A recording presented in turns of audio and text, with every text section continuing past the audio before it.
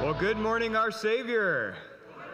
Good morning. Welcome to worship. It was great to have the preschool and kindergarten kick us off this morning. Whether you are here in the sanctuary or you're joining us online, we want to welcome you here to worship. I saw the strangest thing uh, out in the parking lot today. Everybody's car is yellow. I don't know if y'all did the same paint job or what. Uh, how many of you are like consciously trying to wash your car every day or most of the week? Yeah? How many of you are like, I'm just going to wait until pollen season is over? Yeah, that's me too. Very good. Well, welcome to worship. We're so glad you're here. Let's go ahead and stand as we begin our time together in the name of the Father, and of the Son, and of the Holy Spirit. Amen.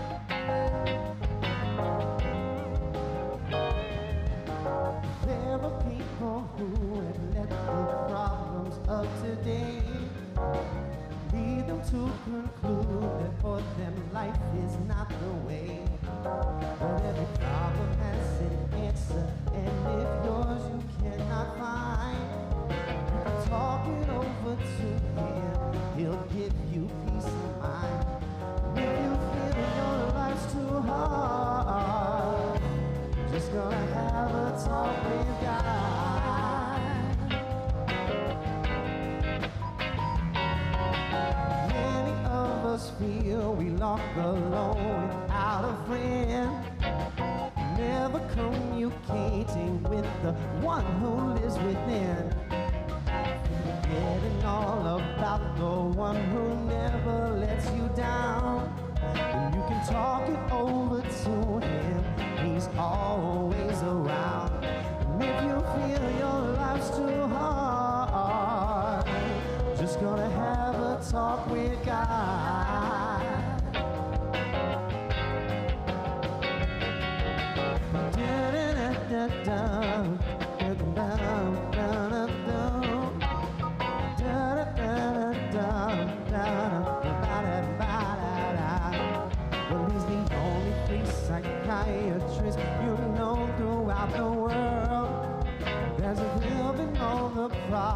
Of all men and boys and girls. If you feel your life's too hard, just gonna have a talk with God. Come on, Cody.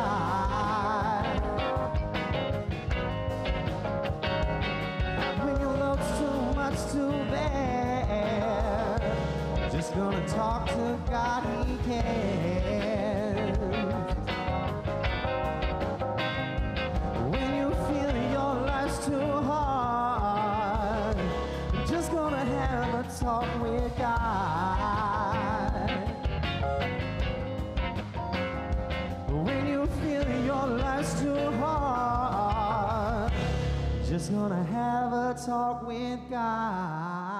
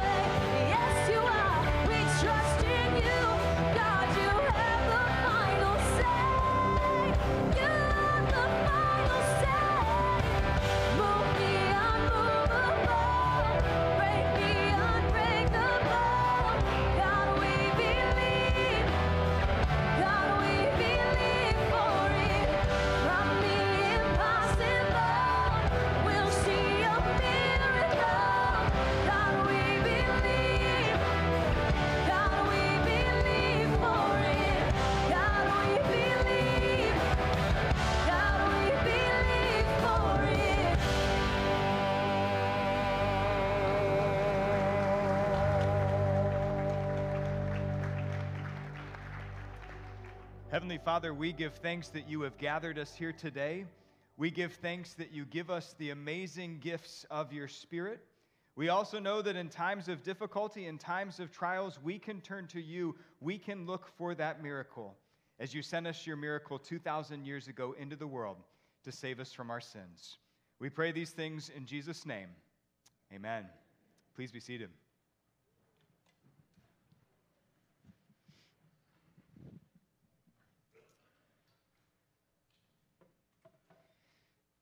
Well, you know, there are many great mysteries in life. For example, why do they call it fun size candy when there's nothing fun about getting a smaller bag of candy, right?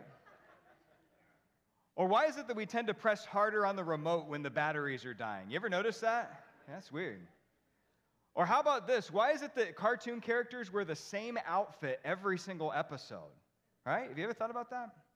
Or how about this? Why do they call it chicken fingers when chickens don't actually have fingers? Or why is it that the dentist always seems to ask you questions when your mouth is wide open and they're trying to do some work, right? Just great mysteries in life. And over the past six years for Elaine and I, one of those mysteries that we've been trying to figure out is why our kids love certain foods. They have no problem with them at all. But then other foods, it's like they can't even believe that we would torture them with those foods. For example, one night we sat down with them and, and we had some dinner, and all of a sudden we put the plates out and they said, Ew! What is that? And my wife Elaine, she said, uh, it's, it's yellow rice. What's the problem? And they said, Oh, yellow rice. Oh, that's disgusting. And Elaine said, Well, girls, you love white rice. It's the same thing, it's just yellow. And they're like, Oh, no, no, we don't want yellow rice. So gross. The whole time, ew, ew, ew. Or, friends, how about this? Sometimes we'll go to the store, we'll get them waffles, and for breakfast in the morning, we'll put the waffles on the table and immediately, oh, waffles, those are the worst.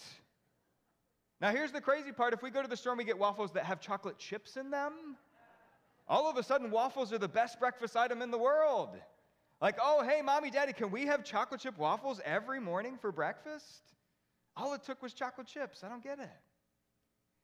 You know, when my brother and I were younger, we used to grumble about the food that our parents would feed us too. For example, every couple weeks, my parents would make this stew that had like stringy beef and cooked potatoes and cooked carrots. And man, my brother and I, we absolutely hated this. And they put it on the table, and we'd be like, oh, not stew. This is the worst night. This is so gross. And my parents would look at us like, I, I don't know what you're talking about. This stuff is amazing. And we would look at them like, I don't know what you're talking about. This stuff is disgusting, right? Now, friends, today, uh, complaining about food, it's not something I realized that I just did as a kid. I, I still complain about food today as an adult, right? We, we do, right? We're just not as loud and as whiny about it. We tend to be a little more under the radar, but we still do it. For example, sometimes I'll go out to a restaurant and I'll sort of grumble under my breath, like, oh, this chicken is, is dry, right? Or, oh, this food is kind of cold. It's not as warm as I thought it would be. In other words, I'm still complaining. I'm just doing it in a slightly different way. You see, this morning we're in the midst of a series that we're calling Give It Up Making Spiritual Changes for Life. And throughout the season of Lent, we're taking a look at five different habits that you and I do on a regular basis. And what we're seeing is that not only does Scripture tell us to give up those habits, but it also tells us to do certain things in their place instead. And so, th- this whole idea of giving it up, what are the things we're going to do? One of them that it tells us to do is to stop complaining. Now, here's the problem with complaining. When you and I complain, the word complain is not really used in the Bible all that often. In fact, it, it uses another word, and here's why. The, the word complain, take a look at this. The word complain means to express dissatisfaction with something. In other words, when you and I complain about something, we are expressing that something is not right. Now, here's why the word complain is a problem. Complaining can often be negative, right? I don't want to eat this yellow rice. Oh, waffles? I don't want to clean my room. I don't want to wash the dishes. I don't like his shirt. I don't like her hair. I can't believe that I have to watch a Hallmark Channel movie because a hundred of you signed up for a bowling tournament. thanks a lot, right? I mean, seriously, thank you, but thanks a lot. You see, oftentimes complaining is negative, but other times, on the other hand, it, it can also be constructive. It can also be helpful, sometimes even necessary, to complain. For example, when our two year old daughter Haley, when she complains that her ear is hurting, that is a helpful signal to us as parents that there's something wrong with her ear. She might have an ear infection. We need to take her to the doctor to get it checked out. Or how about this, just by a show of hands, how many of you are big expiration date checkers? Like when you go to the store, you are checking that date before you put it in. All right, very good. I am also a, an expiration date checker, and sometimes I'll go to a particular store. I don't want to call out their name, I don't want to target them or anything. but I'll go to a particular store, and they have these pizza Lunchables for the kids, and I'll, I'll, I'll, I'll get them out, I'll pull them out, and every now and then, I'll look at the side of it, and it'll say that it expired two or three months ago. One time I found them, and they expired six months ago. Now, if this were a box of Triscuits or a box of Cheez Its, that wouldn't be a really big deal, right? I mean, that's not a huge deal. But the fact that this has uncured pepperoni in it, that could make people pretty sick. And so, what I'll do is I'll grab these Lunchables, I'll put them in the cart, I'll go up to customer service, and I'll complain that they're out of date and that they could make people sick. But here's the thing as I'm doing that, I'm not yelling at them or, or giving them the what for. I can't believe you still have these on the shelves. I'm just complaining in the sense of I'm relaying information to them that these are out of date and it could make them sick. And so the problem with the word complain in terms of giving that up is that it can be negative, but it also can be constructive and helpful and sometimes even necessary to complain. And you know, this is why Scripture tells us not to give up complaining. Instead, it uses a much more specific word. Take a look at this word here. The word in the New Testament, the Greek word is gogusmon, which means to grumble. And as you can see there, there are a few definitions that help us to understand this word. The first one is to complain with a bad attitude. Oh, I don't want to see the in laws. Oh, I don't want to mow the lawn, right? It's not just that we're complaining, but we're complaining with a bad attitude. Now, the second one is to complain in a low voice. For example, let's say you're at Publix, you're in line waiting to check out, and the person in front of you, it looks like they're about to pay with their card, but then all of a sudden they pull out this huge stack of coupons and you start to go, oh, come on. You have got to be kidding me. I just put all my groceries on the thing. Now I'm going to wait for five minutes. What are you doing? You're complaining in a low voice. You're grumbling. Now, the last one is my favorite one here. It's to make a low rumbling sound. Now, let me ask you uh, if, if you don't eat for a long period of time, let's say like eight hours, eventually, what is your stomach going to do? It's going to make a low rumbling sound. We, we say, hey, uh, my stomach is growling, or my stomach is grumbling, or my stomach is rumbling. And friends, what's happening is your stomach is complaining to you that it's hungry, right? In other words, it's grumbling about the fact that you have not given it any food for a certain period of time. And so, friends, when we look throughout the, the, the, New Testament and the Old Testament, we look throughout the Bible, the Israelites, the Pharisees, Jesus' disciples, it doesn't say that they were complaining about things. Rather, very specifically, it says that they were grumbling about things. And you know, this is why Scripture doesn't tell us to give up complaining, rather, it tells us to give up grumbling. In fact, take a look at this. The Apostle Paul puts this in Philippians chapter 2, beginning of verse 14. He says, Do everything without grumbling, and there's that word gogusmon. Now, notice that Paul doesn't say do some things without grumbling. He doesn't say do most things without grumbling. What does he say? He says do everything without grumbling. Meaning, as followers of Jesus, when it comes to grumbling, you and I are called to give this up entirely. Now, the problem is, is that we can't change this habit overnight. Like, you're not going to wake up tomorrow and all of a sudden you're just never going to grumble again. But here's the thing as Scripture points out, if this is the goal, if our goal is to do everything without grumbling, then as followers of Jesus, with the guidance of the Holy Spirit, we should be working toward that goal. And so, for the rest of our time together this morning, we're going to take a look at some ways that you and I can reduce the amount of grumbling that we do. And in order to do that, we're going to take a look at what Scripture says in terms of how we reduce that and maybe some other things that we can do instead. But before we do that, I want you in your mind for just a moment to rate yourself on how much you grumble on a daily basis. One being, I rarely grumble at all. Five being, I, I sometimes grumble throughout the day. Ten being, I, I grumble pretty much all the time. Okay? Rate yourself on a scale of one to ten. Now, this is an exercise for yourself. Some of you are looking at your partner like, hey, I really want to rate that person. Okay, but just rate yourself this morning, and here's what we're going to do. As we go through these four things that we're going to look at, I want you to keep that score in the back of your mind because the prayer is this morning is that if you're a nine or a 10, I pray that these things will help bring you down to a six or a seven. Or if you're a four or five, I pray they'll help bring you down to a two or a three. Or if you're a one, you rarely ever complain at all. I pray that you can help people in your life that are grumblers. We all know grumblers because we are one of them, okay? So, whatever it is, on a scale of one to 10, my prayer is that you will use some of these things during this season of Lent to work toward this goal of doing everything without grumbling. All right, here's the first one this morning. One of the ways that we can reduce our grumbling is to avoid the grumble fest. In other words, sometimes we need to remove ourselves from environments that are constantly filled with grumbling. For example, you ever gotten together with some coworkers or some, some family members, some friends, some neighbors, and, and all of a sudden it turns into this grumble fest? Like everybody's grumbling about their boss, or everybody's grumbling about a certain family member, or everybody's grumbling about a certain friend. And you think, okay, well, maybe this was just that one time they were talking about that one issue, but then you get together again, and it's like another grumble fest all over again. In fact, it seems like every time you all get together, it's dominated with grumbling. Now, here's the thing there's, there's nothing wrong with taking some time to vent, but what happens when grumbling becomes the norm? And, and perhaps more importantly, what is all of that grumbling doing to you? Take a look at this Proverbs, Proverbs 25, 26. It says, like a muddied spring or a polluted well are the righteous who give way to the wicked. In other words, sometimes when we hang around people who are constantly grumbling, we end up becoming grumblers too.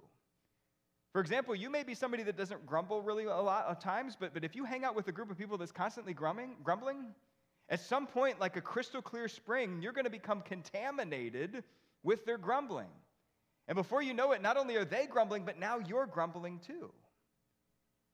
In fact, has this ever happened to you before? You, you were going about your day. Man, it was a great day. You were smiling and happy and content. And then you got together with some coworkers, or you got together with some family members, some friends, some neighbors, and they just start complaining and you were completely fine before that, but all of a sudden you find yourself just being sucked into whatever they're talking about.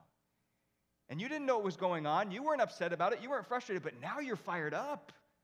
Now you're mad, and, and all of a sudden, and now this group disperses for the rest of the day. What are you doing? You're not happy and smiling and content. You're thinking about what they were talking about.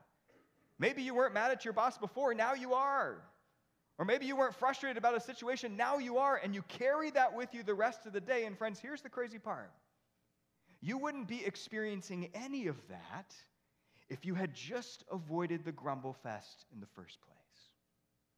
And friends, this is why it says, like a muddied spring or a polluted well are the righteous who give way to the wicked, because when we put ourselves in environments that are constantly filled with grumbling, it contaminates our thoughts, it contaminates our words, it contaminates our actions.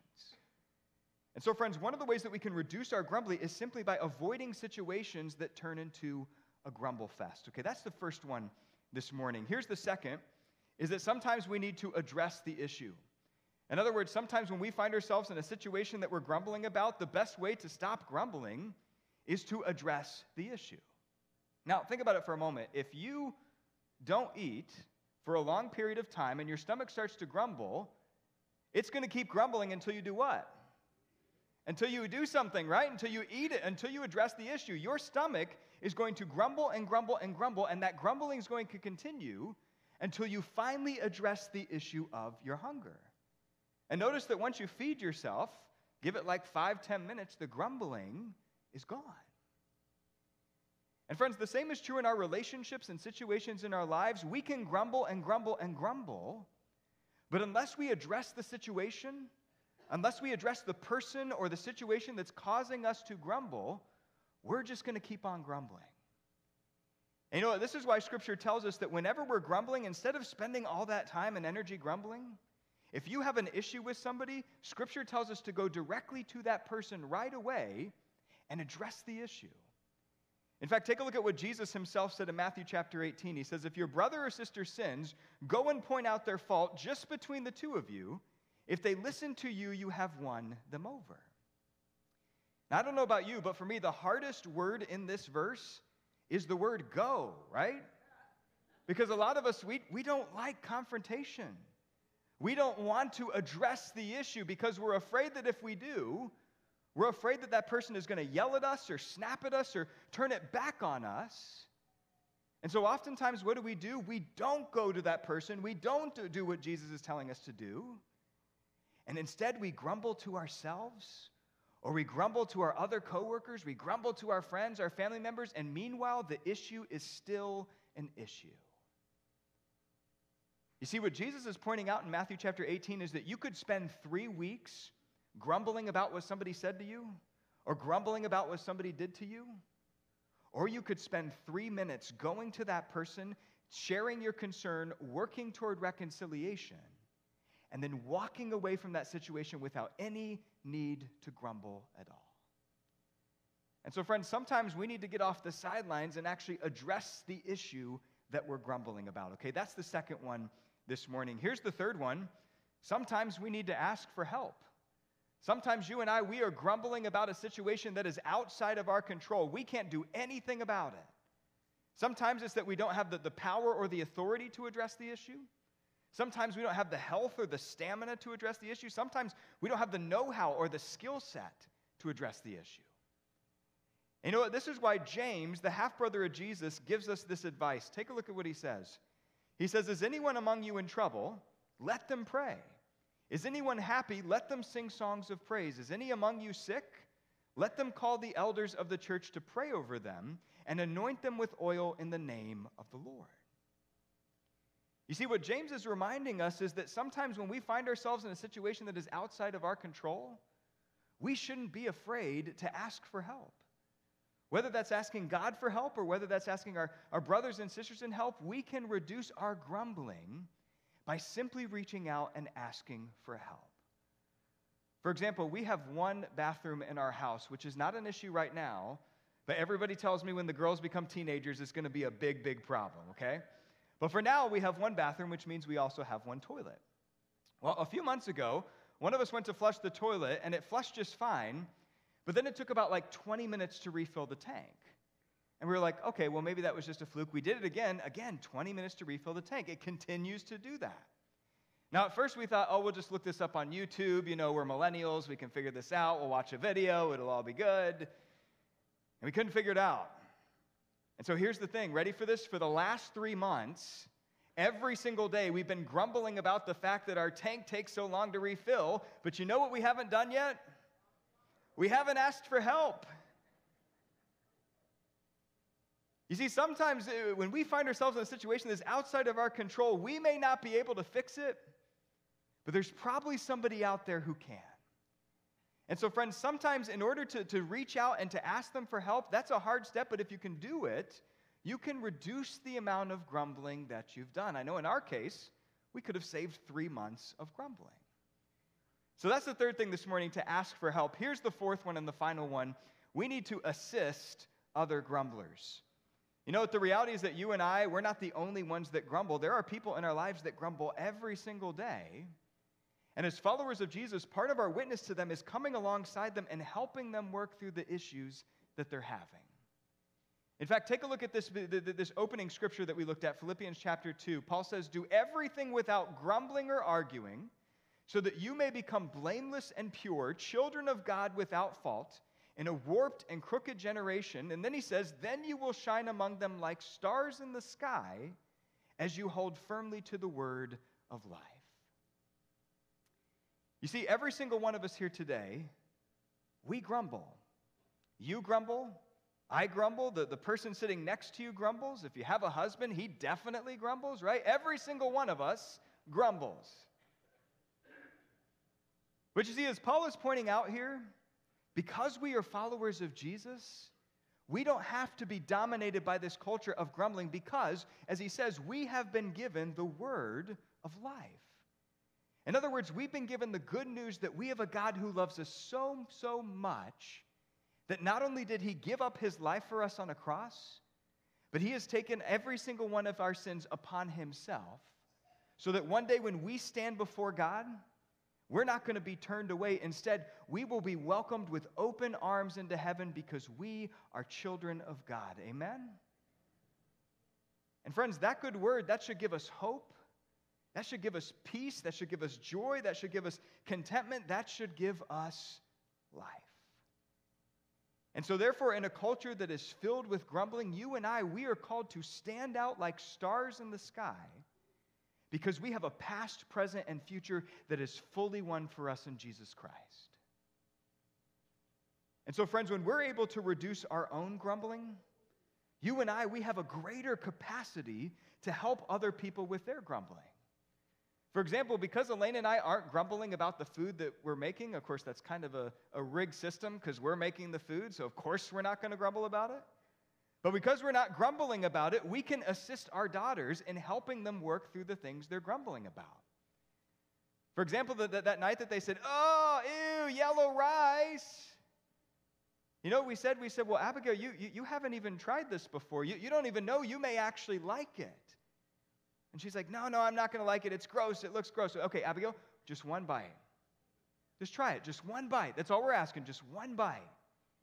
And she's kind of like, Ah, oh, and she grabbed it put it in her mouth, and you could tell she was really trying not to like it. Like, regardless of how it tasted, she was still going to say, ew. But about halfway through chewing, all of a sudden, she was like, oh. And she's like, I love yellow rice. and we're like, see, there you go. All you had to do was try it. You didn't have to spend all this time grumbling. All you have to do is try it first. And so, friends, in that moment, we're assisting her, we're helping her learn that before she grumbles about trying something for the first time, take a moment and actually try it. You see, friends, sometimes one of the best ways that we can reduce our own grumbling is coming alongside others and helping them in their grumbling, because you and I, we see our grumbling in their grumbling, don't we? I remember as a kid grumbling, I get it. We can assist them in that way.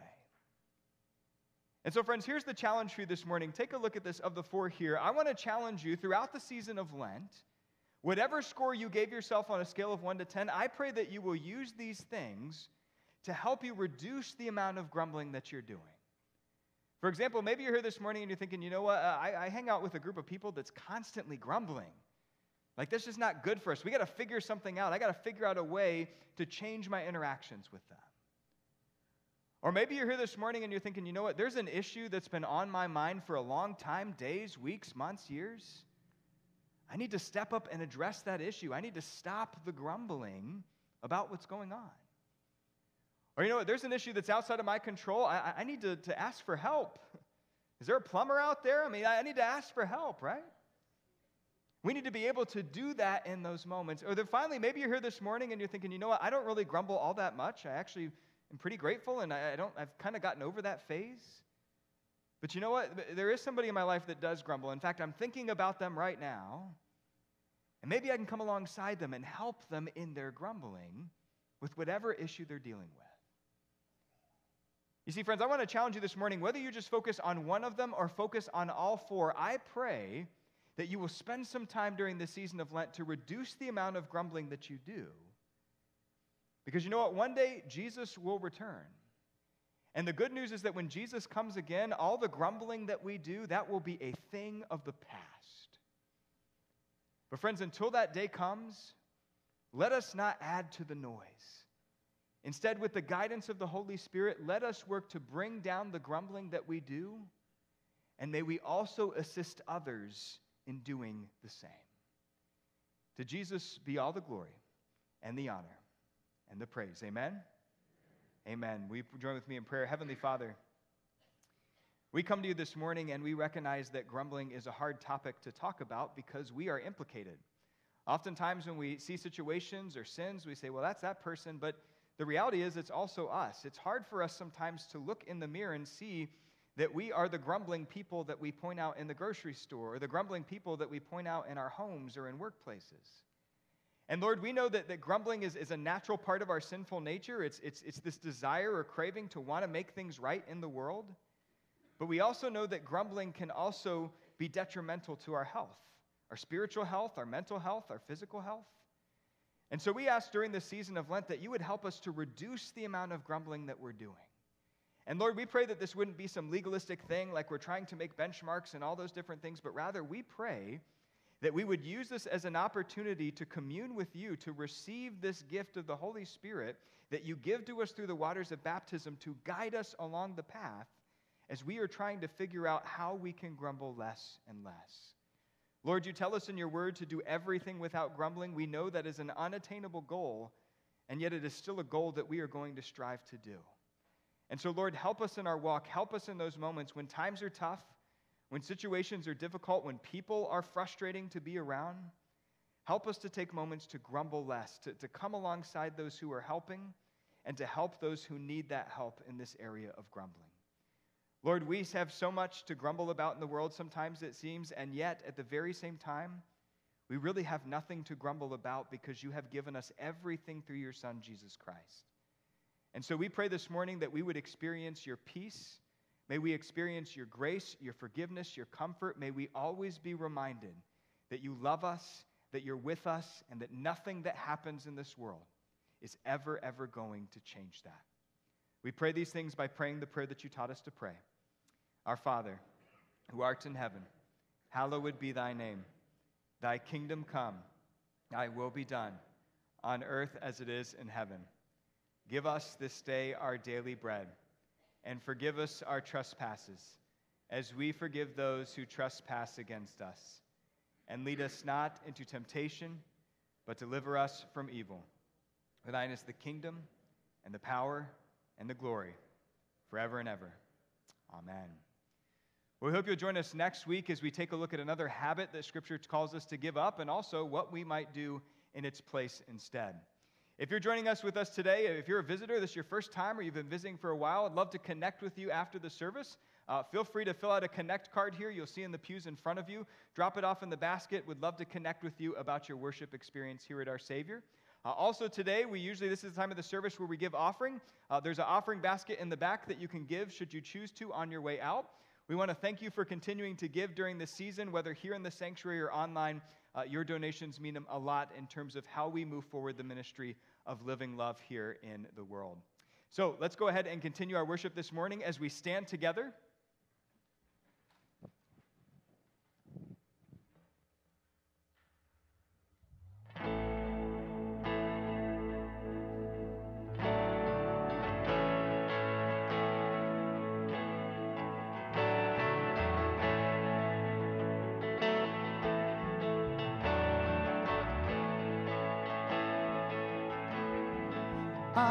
I the world,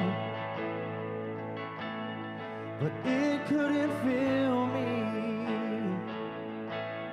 A man's empty praise